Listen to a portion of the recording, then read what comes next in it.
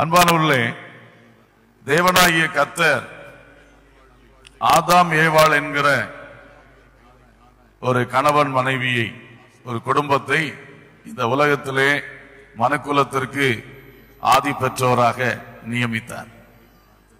நான் நினைக்கிறேன் இந்த ஆதாமோடும் ஏவாளோடும் தேவனாகிய கர்த்தர் பகலின் குளிர்ச்சியான வேளையிலெல்லாம் வந்து பேசிக்கொண்டே இருப்பார். பேசிக்கொண்டே இருந்த பொழுது இந்த ஆதாம் ஏவாளை உண்டு பண்ணுகிறதுக்கு முன்னதாக அவர் இந்த பூமியை இப்படியெல்லாம் ரெடி பண்ணார்.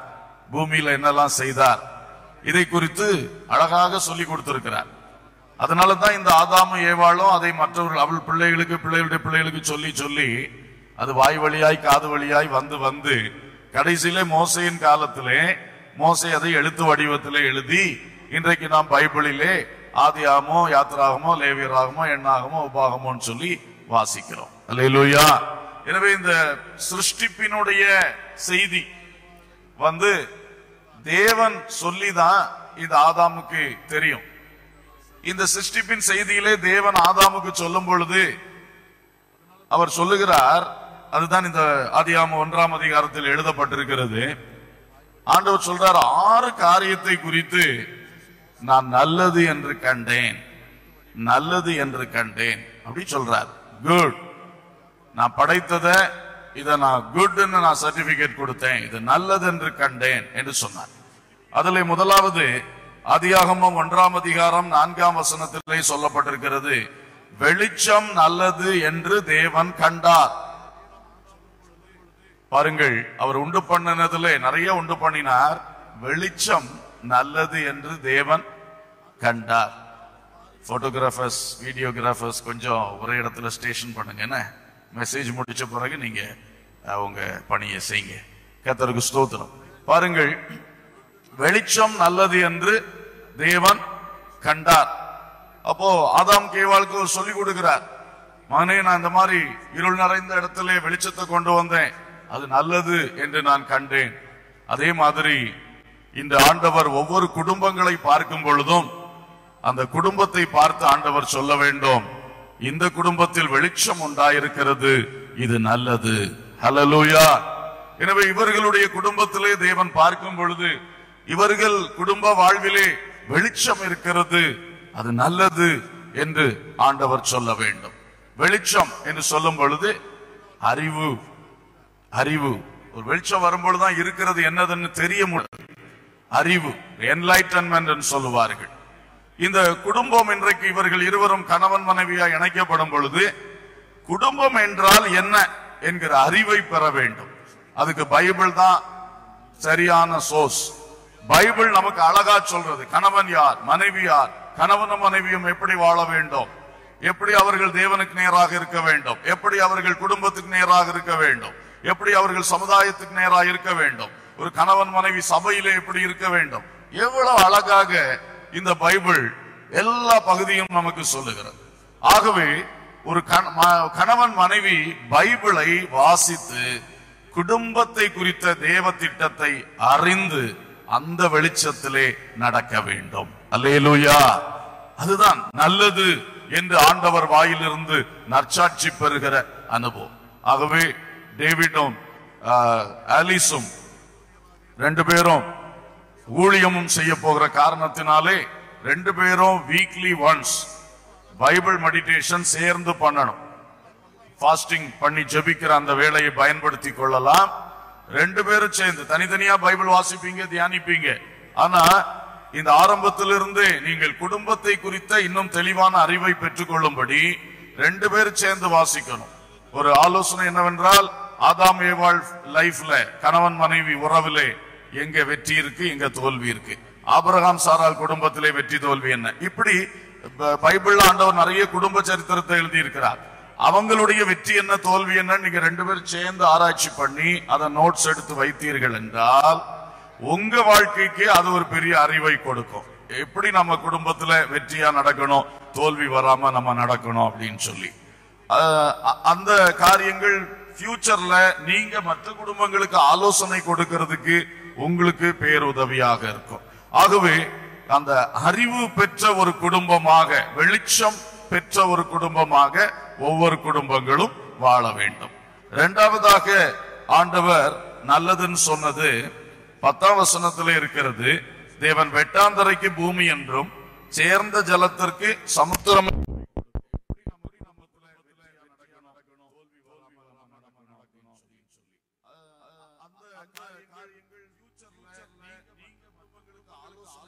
படைப்பிலே பாருங்கள் ஒரு ஒரு செப்பரேஷன் பண்றார். ஒரு தண்ணீர் வந்து அது இருக்கிற இடத்துல இருக்க வேண்டும். வெட்டாந்தரையாக பூமி இருக்க வேண்டும். பூமிக்கு மேல தண்ணீர் மூடி கிடந்தது. அங்கே மனுஷன் கால் வைத்து நிற்கக்கூடிய ஒரு நிலப்பரப்பை இல்லாமல் இருந்தது. கர்த்தர் அந்த தண்ணீரை ஒதுக்கி அதை அங்கே செப்பரேட் பண்ணி நிறுத்தி விட்டு அதுக்கு சமுத்திரம்னு பெயர் போட்டார். இதுக்கு பூமி என்று பெயர் போட்டார். எனவே ஆண்டவர் அடுத்தது அந்த அதை சொல்லுறா நல்லது அப்படின்றார். சோ எல்லாம் ஒண்ணுக்கு மேல ஒண்ணு ஒரு ஒழுங்கு இல்லாம கிடந்துச்சுன்னா அது நல்லது இல்ல ஆனா அது அதது இருக்க வேண்டிய இடத்துல இருந்துச்சுன்னா அது நல்லதுன்னு சொல்றார். ஹலலூயா சோ இதுவும் பைபிள் நமக்கு சொல்லுது. இப்போ பைபிள் ஒரு புதிய குடும்பத்துக்கு சொல்லுகிற ஒரு பெரிய ஆலோசனை என்னவென்றால் மனுஷன் தன் தகப்பனையும் தன் தாயையும் விட்டு தன் மனைவியுடன் இசைந்து அவர்கள் இருவரும் ஒரே மாம்சமாய் இருப்பார்கள். சோ அங்க ஒரு செப்பரேஷன் ஆண்டவர் வைக்கிறார். சங்கீதம் 45 ஐந்து பத்துல சொல்லும் பொழுது குமாரத்தியே கீழ் உன் தகப்பன் வீட்டையும் உன் இனத்தையும் மறந்து விடும் அப்பொழுது ராஜா உன் அழகில் பிரியப்படுவார். அப்ப இங்க பார்க்கிறோம் ரெண்டு குடும்பங்களில் பிறந்து வளர்ந்தவர்கள் அந்த குடும்பத்தின் மேன்மைகள் எல்லாம் நாம் சொன்னோம். அந்த எல்லா மேன்மைகளை இவர்கள் உட்கொண்டு நல்ல ஒரு நிலையில் வந்திருக்கிறார்கள். இப்பொழுது கர்த்தர் என்ன செய்கிறார்னா அந்த குடும்பத்திலிருந்து இந்த டேவிட் சாமை ஒரு தனி ஒரு குடும்பமாக நிறுத்துகிறார் தனி செடியாக நிறுத்துகிறார். அதே போல இந்த குடும்பத்திலிருந்து ஆலிஸை அங்கிருந்து ஒரு போல எடுத்து இந்த செடியிலே கிராஃப்டிங் பண்றார் ஒட்டுகிறார். இதுதான் இன்றைக்கு நடக்குது. சோ இதுக்காக ஒரு செப்பரேஷன் நடக்குது. அப்போ ஆண்டவர் வந்து கண்- தகப்பனையும் தாயும் விட்டுன்னு சொல்லிட்டாரு. ஆனால் இனி தகப்பன தாயை கண்டுகொள்ளவே வேண்டாம். அப்படி ஒரு பிரிவினை ஆண்டவர் உண்டாக்கிட்டார். அப்படி அல்ல.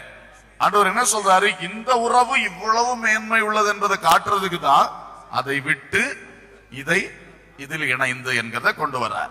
சோ இதை இவர்கள் புரிந்து கொள்ள வேண்டும். எங்கே செப்பரேஷன் இருக்க வேண்டும்? அந்த இடத்துல. நான் இதுவரைக்கும் அப்பா அம்மா பிள்ளையா இருந்தேன். பாச உறவிலே வாழ்ந்தேன். ஆனா இப்ப அந்த பாச உறவு மட்டுமல்ல எனக்கு ஒரு புது உறவு வந்திருக்கிறது.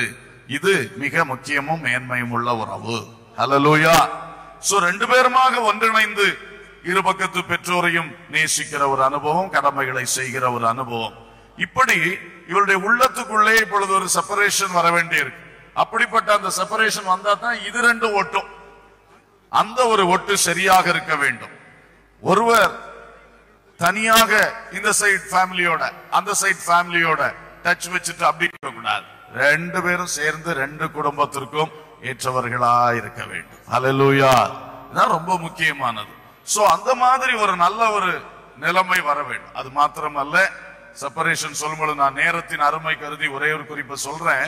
ஆனா எவ்வளவோ காரியங்களை விட்டு நம்ம விலகி நின்றால்தான் கணவன் மனைவி உறவு பலமாக இருக்கும். அல்லேலூயா இதுக்கு முன்னாடி நம்ம செஞ்ச பல காரியங்களை இனி செய்ய முடியாது. டேவிட் ஒருவேளை பல ப்ரோக்ராம்ஸ் போவார். பல ஊழியத்துல பிஸியா இருப்பார். அப்படியெல்லாம் அவர் செஞ்சுட்டு இருக்கும் பொழுது டைமை பார்க்க மாட்டார். சாப்பாடை பார்க்க மாட்டார். எதையுமே கவனிக்க மாட்டார். ஆனா இனி அப்படி இருக்க முடியுமா? டைம் ஆகும் பொழுது கவனிக்க வேண்டியதுதான். சாப்பாடு முன்னால உட்கார்ந்து உட்கார்ந்த உடனே ஆலிஸ் ஞாபகம் வரணும். ஆமா. டைம் கான்சியஸா இருக்கணும். கவனமா இருந்தா தான் சரியாகும். எல்லாம் முன்ன செய்த மாதிரி செய்ய முடியாது. சில காரியங்களை விட்டு விலகி ஆக வேண்டும். ஆலிஸும் அது மாதிரி தான் இது வரைக்கும் ஒரு ஸ்பின்ஸ்டர் லைஃப் நல்ல ஜாலியா அப்படியே அப்பா அம்மா செல்லத்திலே வளர்ந்துருப்பாப்ல இப்போ அந்த செல்லத்துல மட்டும் இருக்க முடியாதுல்ல. மாமா மாமி நல்லா செல்லம் கொடுப்பாரு. அது தெரியும். இருந்தாலும் நம்ம இனி மணமகள் மனைவி அடுத்து தாய் என்று போகும் பொழுது அவள் செல்லம் கொடுக்கிறவளா மாற வேண்டும். அல்லேலூயா சோ இப்படி எல்லாம் பார்க்கும் பொழுது நிறைய காரியங்கள் முன்னே இருந்த அனுபவங்களை விட்டு விலகி விட்டு விலகி இந்த புதிய அனுபவத்திலே பலன் கொண்டு பலன் கொண்டு வளர்ந்தால்தான் அது வெற்றி. அப்படி தழைத்து வளருகிற ஒரு குடும்பம் அவங்கள சுற்றி இருக்கிற ரெண்டு குடும்பத்துக்கும் கனி கொடுக்கிற நல்ல குடும்பமா இருக்கும். ஆண்டவர் சொல்றார் இந்த செப்பரேஷன் நல்லது. ஹலலூயா சரி மூன்றாவதாக பனிரெண்டாம் வசனம் சொல்லுகிறது. பூமியானது புல்லையும் தங்கள் தங்கள் ஜாதியின்படியே விதையை பிறப்பிக்கும் பூண்டுகளையும் தங்கள் தங்கள் ஜாதியின்படியே தங்களில் தங்கள் விதையையுடைய கனிகளை கொடுக்கும் விருட்சங்களையும் முளைப்பித்தது. தேவன் அது நல்லது என்று கண்டார்.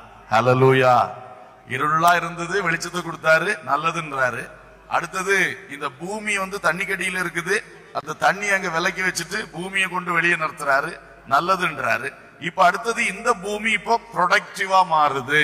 அப்போ நல்லதுங்கிறாரு. ஹலலூயா மூணாவது என்னாச்சு? நீ வந்து எதை எதை விட்டு செப்பரேட் ஆகணுமோ செப்பரேட் ஆகுற. இப்போ இன்- உங்க வாழ்க்கை இந்த பூமி ஒரு கனி தரும் பூமியாக விளையச் செய்கிற பூமியாக விதைகளை பிறப்பிக்கிற பூமியாக மாறும் பொழுது அவர் அதை பார்த்துட்டு சொல்றாரு இது நல்லது குட் ஹalleluya சோ ஒரு குடும்பம் ஆயிடுச்சுன்னா இனி இந்த குடும்பம் வந்து கனி கொடுக்கணும். நூ- நூற்றி இருபத்தி எட்டாம் சங்கீதம் உன் மனைவி உன் வீட்டோரங்களில் கனி தரும் திராட்சை கொடியை போல இருப்பாள். மனைவி மட்டும் கனி கொடுக்க முடியாது. அந்த கொடி கனி கொடுக்கணும்னா செடி கரெக்டா இருக்கணும். செடியும் கொடியும் சேர்ந்தா தான் என்ன செய்ய முடியும்? கனி கொடுக்க முடியும். அப்படி ஒரு கனியை தேவன் இவரிடத்தில் எதிர்பார்க்கிறார். இதுவரைக்கும் ரெண்டு பேரும் தனித்தனியாய் கனி கொடுத்திருக்கலாம். தங்கள் குடும்பத்துக்கு கனி கொடுத்திருக்கலாம். பிரயோஜனமா இருந்திருக்கலாம். தங்களுடைய சபைக்கு பிரயோஜனமா இருந்தார்கள். எல்லாம் தனித்தனியா? ஆனா இப்ப ரெண்டு பேரும் சேர்ந்து குடும்பமாக கர்த்தருக்கு கனி கொடுக்கணும் கர்த்தருடைய சபைக்கு கனி கொடுக்கணும் தங்கள் குடும்பத்தாருக்கு கனி கொடுக்கணும். அலலூயா சொந்த குடும்பத்துக்குள்ள கனி கொடுக்கணும். ஆமென் கனி கொடுத்தல். அந்த கனிகள் என்று சொல்லும்போது நிறைய விஷயங்கள் இருக்கு. நிறைய காரியங்கள். குடும்பத்துக்குள்ளே சந்தோஷம் என்பது ஒரு கனி அன்பு என்பது ஒரு கனி சமாதானம் என்பது கனி. எல்லாம் கனிகள். நிறைய கனிகள். கத்தருக்கு ஸ்தோத்திரம். அது மாத்திரமல்ல புத்திரபா என்கிற கனியை தேவன் இவர்களுக்கு ஏற்ற வேளையில் தருவார். தெய்வ பக்தி உள்ள சந்ததியை பெற்றெடுத்து வளர்ப்பார்கள். ஆவிக்குரிய சந்ததியை தேவனுடைய ஊழியத்திலே கனிகளாக தேவன் இவர்களுக்கு திரளாக கொடுப்பார். இதெல்லாம் கனிகள். கனி நிறைந்த ஒரு குடும்பமா இருக்கும் பொழுது கத்தர் பார்த்து சொல்றார் குட் நல்லது என்று ஆண்டவர் சொல்றார். நான்காவதாக பதினெட்டாம் வசனத்துல பகலையும் இரவையும் ஆளவும் வெளிச்சத்துக்கும் இருளுக்கும் வித்தியாசம் உண்டாக்கவும் தேவன் அவைகளை அதாவது சுடர்களை வானம் என்கிற ஆகாய விரிவிலே வைத்தார். தேவன் அது நல்லது என்று கண்டார். இப்ப பாக்குறாரு பகல் இருக்கு இரவு இருக்கு. ஆனா சும்மா ஒரு அப்படியே ஒரு மங்கலான ஒரு லைட் மட்டும் பகலுக்கு வந்துட்டு போனா போதாது. அதுல வந்து அதை ரூல் பண்றதுக்கு ஒரு ஆள் வேணும். அதுக்கு தான் சூரியனை கொண்டு வந்தார். பகல நீ என்ன செய்? ஆளுகை செய். இரவுல எல்லாம் அப்படியே இருட்டி போய் கிடக்க முடியாது. அதனால ஒரு சந்திரனை வச்சார். நீ இரவை என்ன செய்திரு? ஆளுகை செய். பாருங்கள் ஆளுகை செய் என்று ரெண்டு சுடர்களை வச்சுட்டு அது நல்லது அப்படிங்கிறார். இப்போ இவங்க ரெண்டு பேரும் ஒரு சூரியனும் சந்திரனும் மாதிரி யோசிப்பு ஒரு சொப்பனம் கண்டு சொல்லலாம் பாத்தீங்களா? சூரியனும் சந்திரனும் பதினோரு நட்சத்திரங்களும் என்னை வணங்கி நின்றன. உடனே அவங்க அப்பா அதுக்கு பதில் கொடுத்தாரு. என்னடா சொல்ற? அப்ப நான் உங்க நானும் உங்க அம்மாவும் உன் சகோதரங்களும் உன்னைய வணங்க வருவோமா? அப்படின்னு பதில் கேட்கிறார். அவர் பதில் கேட்கறதுலயே இதுக்கு ஒரு விளக்கம் வருது. சூரியன் என்பது தகப்பன் சந்திரன் என்பது தாய்.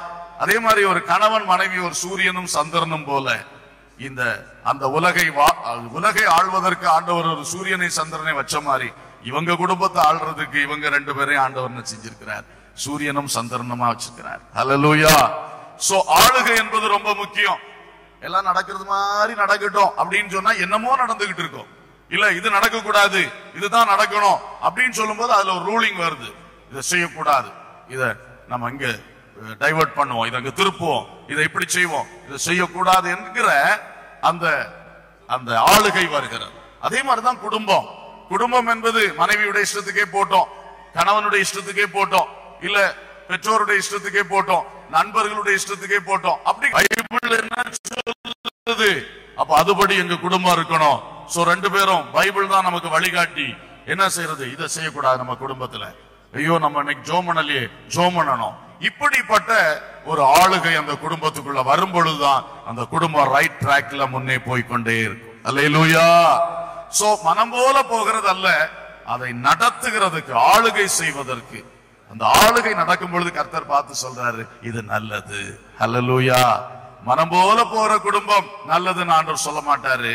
ஆனா ஆண்டவர் வார்த்தைப்படி கரெக்டா நடத்தப்படுகிற ஒரு குடும்பத்தை நல்லதுன்னு சொல்றாரு. ஹalleluya சரி அடுத்ததாக இருபத்தொன்னாம் வசனத்துல சொல்றாரு தேவன் மகா மச்சங்களையும் ஜலத்தில் தங்கள் தங்கள் ஜாதியின்படியே திரளாய் ஜனிப்பிக்கப்பட்ட சகலவித நீர்வாழும் ஜந்துக்களையும் சிறகுள்ள ஜாதி ஜாதியான சகலவித பட்சிகளையும் சிருஷ்டித்தார்.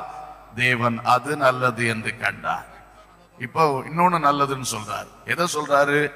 இந்த தண்ணி வந்து வெறுமையா இருக்க கூடாது நிறைய மீன்கள் வரணும். நீந்துகிறது. தண்ணியில நீந்துகிற இதெல்லாம் வரணும். இத வானம் சும்மா இருக்க கூடாது ஆகாயம் காற்று. அங்க பறக்கிற பறவைகள். ரெண்டையும் உண்டு பண்ணிட்டு சொல்றாரு கேர்ள் இது நல்லதுன்றாரு. சோ நான் இதை குடும்பத்துக்கு இப்படி சொல்ல வர்றேன். நம்ம வந்து தண்ணியில நீந்துறதுனாலே நம்ம ஆவிக்குரியவர்களுக்கு உடனே என்னதான் ஞாபகம் வரும்? நீச்சல் ஆழம் மூழ்கியே. அந்த பாட்டு தான் ஞாபகம் வரும். அதனால தண்ணி நிறைய அர்த்தம் இருக்குது. பிசாசுக்கும் தண்ணின்னு இருக்குது.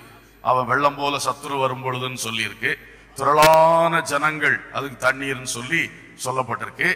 ஆனா பரிசுத்த ஆவியாகிய ஜீவ நதி என்று சொல்லியிருக்கு. ஹலலூயா அவ ஜீவ தண்ணீர்னு சொல்லியிருக்கு. நமக்கு ஒரு பெரிய அனுபவம்.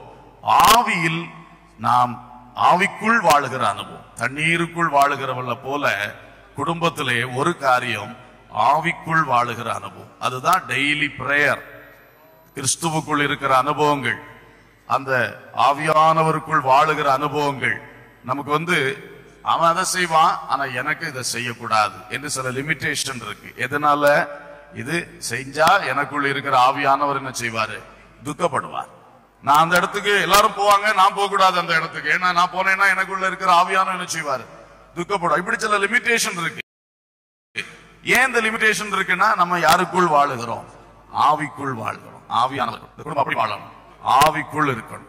அதே மாதிரி இன்னொரு அனுபவம் என்னவென்றால் மேலே மேலே பறக்கிற ஒரு அனுபவம். ஹலலூயா அந்த ஆவியானுடைய பலத்தினாலும் வசனத்தில் பலத்தினாலும் உன்னதங்களில் கிறிஸ்து தேவனுடைய வலது பாரிசத்தில் வீற்றிருக்கிற மேலானவைகளை தேடுங்கள். எனவே அருமையான இந்த குடும்பம் வெறும் உலகத்துக்குரிய கண்ணோட்டத்தோடு வாழ்ந்து விடக்கூடாது. நீங்கள் எப்பொழுதும் நித்திய ஜீவனாகிய கிருபை சுதந்திரிக்கும்படி தேவன் உங்களை குடும்பமா இணைத்திருக்கிறார் என்பதை இவர்கள் மட்டுமல்ல அனைத்து குடும்பங்களும் உணர்ந்து அந்த மேலான எண்ணத்தோடு நாம் செட்டைகளை அடித்து மேலான அனுபவங்களில் பறக்கிறவர்களாய் பரலோக வாஞ்சை உள்ளவர்களாய் இயேசுவின் வருகைக்கு ஆயத்தமாகிறவர்களாய் நாம் வாழ வேண்டும். அது ஒரு குடும்பத்தில் இருக்கும் பொழுது இயேசு வாய் திறந்து சொல்லுவார் குட் இந்த குடும்பம் நல்லது. கடைசியாக நல்லதுன்னு சொன்ன இன்னொன்னு நான் சொல்றேன். இருபத்தி ஐந்தாம் வசனத்துல சொல்றாரு தேவன் பூமியில் உள்ள ஜாதி ஜாதியான காட்டு மிருகங்களையும் ஜாதி ஜாதியான நாட்டு மிருகங்களையும் பூமியில் ஊறும் பிராணிகள் எல்லாவற்றையும் உண்டாக்கினார். தேவன் அது நல்லது என்று கண்டார். ஆவிக்குள் வாழுங்கன்னு சொன்னேன். பரலோக சிந்தையோடு வாழுங்கன்னு சொன்னேன். அது மட்டும் போதாது நீ பூமியிலே வாழ வேண்டியது இருக்கிறது பூமியிலே வாழ வேண்டி இருக்கிறது அப்போ பூமியிலும் பிராக்டிக்கலா கரெக்டா நடக்க வேண்டும். ஹalleluya இது ஒரு குடும்பத்துக்கு தேவை. நாங்க ரொம்ப ஆவிக்குள்ள இருக்கிறோம்னு சொல்லி நடைமுறை காரியங்களை கோட்டை விட்டுறக்கூடாது. நாங்க எப்போ இப்ப இயேசு வருவார் மேல போயிடுவோம் பல்லவத்துக்கா வாழ்றோம்னு சொல்லி இந்த பூமியிலே உள்ள காரியங்களை என்ன செய்திட முடியாது? மனம் போல எங்கேயும் விட்டுற முடியாது. இதிலே ஒரு சாட்சி உள்ள கரெக்டான ஒரு நடக்கை. நீந்துகிறது பறக்கிறது நடக்கிறது. மூன்றும் இந்த குடும்பத்து இந்த மூன்று மூமெண்ட்ஸும் குடும்பத்துல கரெக்டா வரும் பொழுது அந்த குடும்பத்தை பார்த்து கத்த சொல்றார் குட் நல்லது. ஹலலுயா சோ ஆறு காரியங்களை பார்த்து ஆண்டவர் குட்னு சொன்னாரு. அந்த எல்லா குட்டும் நம்ம குடும்பத்துல என்ன செய்யணும்? வரணும். இனி ரெண்டாவது முப்பத்தி ஒண்ணாம் வசனம் கவனிங்க. அப்பொழுது தேவன் தாம் உண்டாக்கின எல்லாவற்றையும் பார்த்தார். அது மிகவும் நன்றாயிருந்தது. இப்ப வெரி குட்ன்றார் இதுவரைக்கும் குட் குட்னாரு இப்போ எல்லாத்தையும் சேர்த்து பார்த்தார். ஆறு குட்டையும் சேர்த்து பார்த்தோன்னா என்ன சொல்றாரு இப்போ? வெரி குட் மிகவும் நன்றா இருக்கிறது இதே மாதிரி இந்த ஆறு அனுபவங்களும் ஒரு குடும்பத்துல காணப்படும் பொழுது கர்த்தர் திருவாய் மலர்ந்து சொல்லுவார். வெரி குட் ஹalleluya கரங்களை தட்டி தேவனுக்கு மகிமை சொல்லுவோமா? பிரைஸ் அந்த மாதிரி இருக்கணும். கடைசியாக ஒரு வார்த்தை. குட் வெரி குட் எல்லாம் சொல்லிட்டு ஆதியாமம் ரெண்டாம் அதிகாரம் பதினெட்டாம் வசனத்துல சொல்றாரு. பின்பு தேவனாகிய கர்த்தர் மனுஷன் தனிமையா இருப்பது நல்லதல்ல. ஏற்ற துணை அவனுக்கு உண்டாகும். நாட் குட் இவ்வளவு நேரம் குட் குட்னு இருந்தாரு வெரி குட்னாரு இப்ப என்ன சொல்றாரு? நாட் குட் மகனே மகளே இதெல்லாம் உன் குடும்பத்துல இருக்கணும். நான் குட்னு சொல்லுவேன். எல்லாம் ஒரே குடும்பத்துல எல்லாம் பார்த்தீங்கன்னா வெரி குட்னு சொல்லுவேன். ஆனா உன்னை கணவன் மனைவி ஆக்கின பிறகு தனிமை என்பது நான் உனக்குள்ள காணக்கூடாது. அததான் நாட் குட்னு சொல்லுவேன். உனக்கு கல்யாணம் பண்றதே எதுக்காக? நீ தனிமையா இருப்பது நல்லது இல்லைன்னு தான் என்ன சொல்லிருக்கேன்? உனக்கு ஒரு ஏவாளை கொடுத்திருக்கேன். இனி நீ தனிமையான செய்யக்கூடாது இருக்கக்கூடாது. ஆகவே டேவிட் தன்னுடைய வாழ்வில் எங்கே வெற்றிடம் இருக்கிறதோ அந்த வெற்றிடத்தை ஆலிஸை கொண்டு நிரப்பி விட வேண்டும். ஆலிஸுடைய உள்ளத்துக்குள் எங்கே ஒரு வெற்றிடம் இருக்கிறதோ அதை டேவிட்டை கொண்டு நிரப்பி விடணும். இனி ஒரு தனிமை என்பது இருக்கக்கூடாது. ரெண்டு பேரும் ஒருவருக்கு ஒருவர் பகிர்ந்து கொண்டு காரியங்களை பகிர்ந்து கொள்ளுதல் எல்லாவற்றையும் பகிர்ந்து கொண்டு ஒரு நிரப்பப்பட்ட வாழ்க்கை செய்ய வேண்டும். ஹalleluya நிறைவுள்ள வாழ்க்கை செய்ய வேண்டும். அதை கர்த்தர் பார்க்க விரும்புகிறார். அந்த நிறைவுள்ள ஒரு பாத்திரம் தான் அது நிரம்பி வழியும் பாத்திரமாக இருக்கும். அது அநேகருக்கு ஆசீர்வாதமான பாத்திரமாக இருக்கும். ஆகவே இந்த அருமையான டேவிட் சாம் ஆலிஸ் குடும்பத்தை தேவன் குட் என்றும் வெரி சொல்லுகிற நல்ல அனுபவத்தில் நாட் குட் என்று சொல்லுகிறது ஒரு பொழுதும் வராமல் ஆசீர்வாதமாய் நடத்துவாராக. உங்கள் அனைவருடைய குடும்பங்களிலும் இதே பாக்கியத்தை அருளுவாராக என்றும் வாழ்த்தி என் வார்த்தைகளை நிறுத்துகின்றேன்.